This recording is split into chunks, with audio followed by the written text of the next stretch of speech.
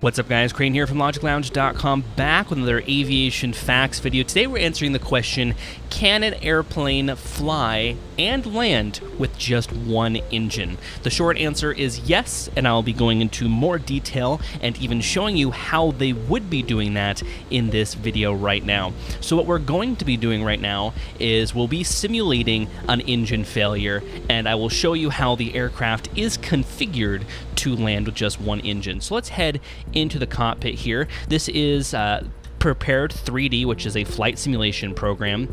Uh, and on top of that, this is PMDG's 777, which is second to none when it comes to simulations. So we're in the Seattle area right now. We're kind of to the uh, northwest of the Seattle area, and we'll be taking a landing into Seattle's International Airport. Uh, we'll be simulating an engine failure right now. So we're going to fail engine number one. We're going to give it a severe damage. So we're going to simulate that right now and make it active. So the first thing we'll note is that we have annunciations here uh, with multiple things. So we'll kind of come down here. It says engine has failed. At flight level 050, we should be between 120 and 270 knots. We're currently sitting at 230. Because this is such a technologic technologically advanced aircraft, there you go, uh, it automatically adjusts speed and is adjusting things within its computer systems for the engine failure. So what we're going to do right now is we're actually going to head into the electronic checklist here, which is already brought up here. This is our engine failure checklist. So engine speed is below idle. This is the left engine. Uh, thrust is lost on both engines. No. So the first thing we want to do is turn off the left auto throttle arm switch. This is the same procedures that would be happening in the real airplane that we're doing now. So there's the auto throttle switch that uh, controls the uh, speed of the aircraft, so that is turned off. The next one is the thrust lever needs to come down to idle, so I'm going to do that now, bringing that down to idle. Now fuel control switch, so we're going to confirm left and off. So we're cutting off all uh, the fuel to the engine just so there's something extra wrong with that engine. It is uh, turned off and isn't able to become any more dangerous than it already is. So uh, we're not going to try a restart, of course, so that uh, brings us down a couple. There's other things down here. So our next one is five. So both engines are running normally. No. APU selector. So the first thing we want to do is turn on the APU. This provides extra power to the aircraft, so we're going to turn that on now. That's going to take just a couple minutes to spool up, but we'll head down to our electronic checklist. Uh, transponder mode selector TA only, so we'll do that by coming down to our transponder and to TA only. All right, plan to land at the nearest suitable airport. Got it, we are. Uh, for this one, because of our weight, we'll be landing with flaps 20. And our ground proximity flap override switch needs to go into override. And I believe the ground flap override switch is right here, so we're going to override it, meaning that it won't give us a flap configuration issue when we go to land. And that completes our checklist. We're not going to be uh, landing with flaps 30 because our performance uh, we want to land with flaps 20 and a VREF plus 20 uh, for the landing. So we're going to be doing that as we get started. So now we're kind of at the perfect moment where we can join up the Yes, we can join this up. So we're going to slow our speed just a little bit down to 220 knots. And as we do that, I'm going to put down flaps 1. So basically, the pilots now have the aircraft in a controllable state. With this engine off, we are flying normally. We could fly for a lot longer, but just for the safety reasons, we want to land at the nearest suitable airport. And that's what we're doing now. We're landing at the nearest suitable airport, which be which would be Seattle's airport. Now, as I check off my things here, we want to be at 4,000 feet. So we'll do that, a vertical descent to 4,000. We're going to slow our speed still to 190 knots. And we're going to incrementally put out some of them flaps. So the aircraft is powerful enough uh, to run on one engine and that is how most aircraft are. If they have one engine, then you can lose that other engine or if you have two engines, excuse me, you can lose one engine and uh, you will be just fine. And that is the amazing thing about aircraft is that we made engines so powerful that they don't really need the second engine. The second engine is only there for the initial thrust when it comes off, uh, when you're taking off. But in general cases, you can fly with just one engine because of the power that is put behind those engines. For aircraft that have four engines, such as the 747 or the A340, the same kind of applies where you can lose two engines and still be able to fly that aircraft just fine. So that is just a fun fact for you guys as we come down here. So I'm kind of getting us set up right now. Uh, and I'm kind of finessing this because I'm doing this mostly off memory. And like I said, this is not a training guide. This is not uh, the official what you're supposed to do. This is kind of the uh, uh, short, abbreviated thing to kind of show that it can happen and show that it is possible that the aircraft is safe where it doesn't need uh, to have anything uh, catastrophically go wrong, like an engine failing, for the plane to go down. It won't. It won't. It just won't. Uh, what will happen is the other engine will uh, be powered up. The engine will use more power uh, to keep the plane in flight. So that is what it's doing now. So the right engine, the computers on the aircraft are using the right engine to compensate for anything we do. Now, the plane is going to tend to pull to the left because we are uh, only using power on one side of said aircraft. So another fact for you guys. Uh, what pilots can do is they can come down here to the rudder, the rudder trim right here, and you can give it a little bit of nose right rudder. So that's what I'm going to do. So it's already adjusted it to 5 degrees rudder trim to nose right to compensate for the power only on the left side, or the right side, excuse me, of the aircraft. So modern aircraft are that technologically advanced where they can do a lot of this stuff on their own, which is crazy.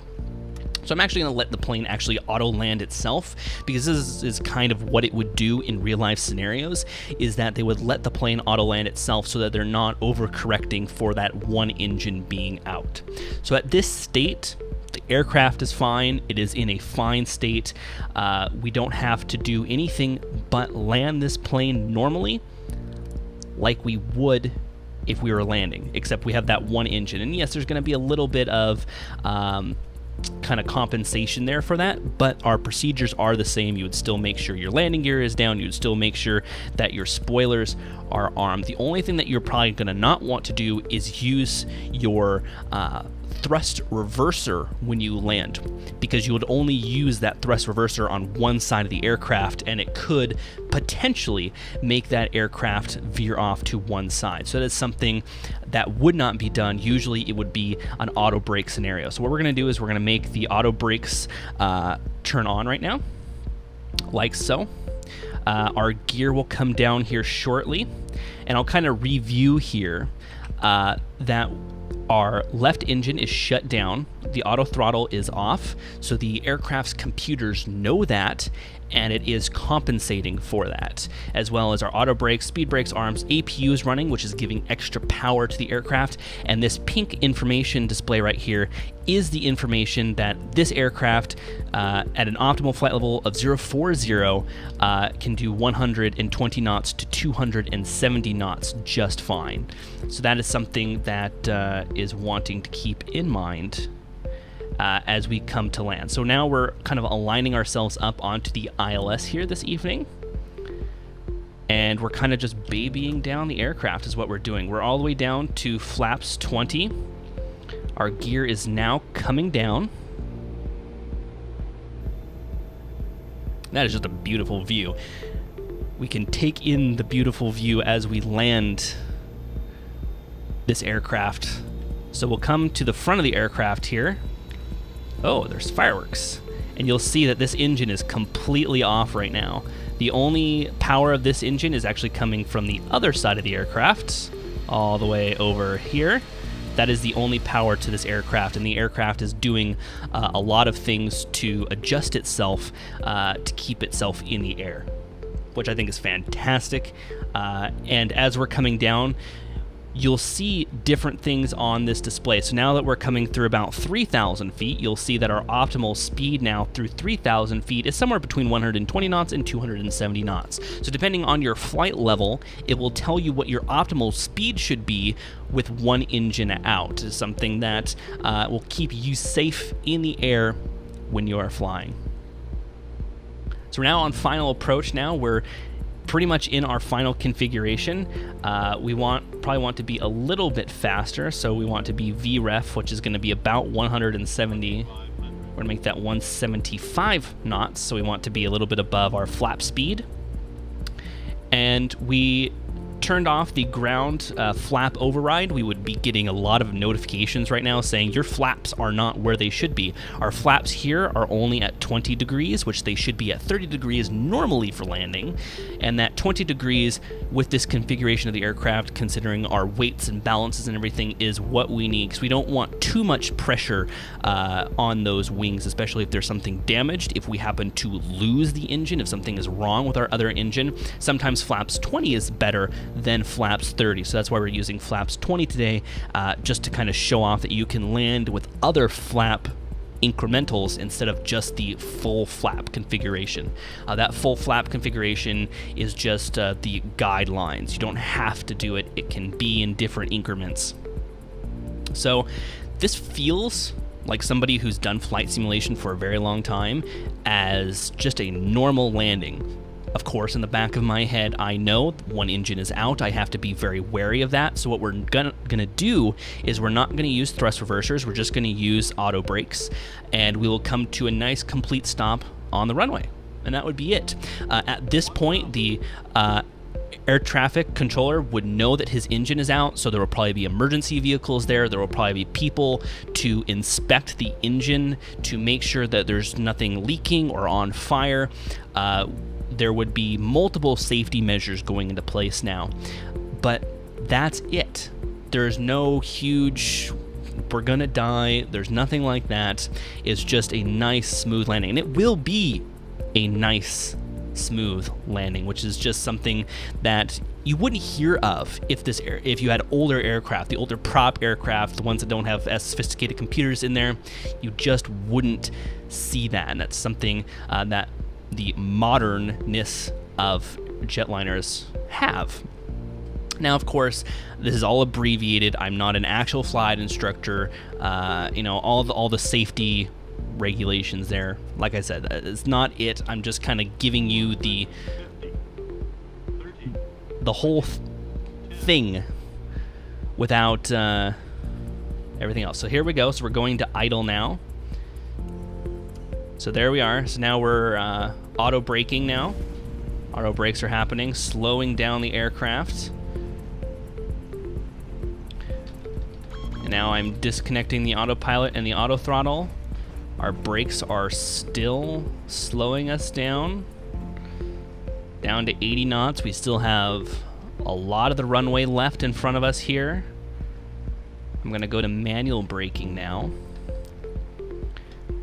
And I'm just going to use our forward momentum that we still have to actually turn off at this next taxiway here.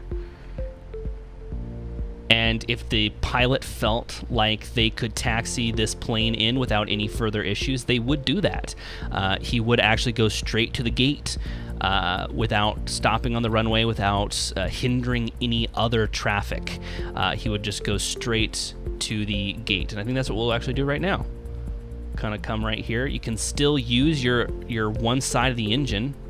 It's still functional. It's still something that can be used.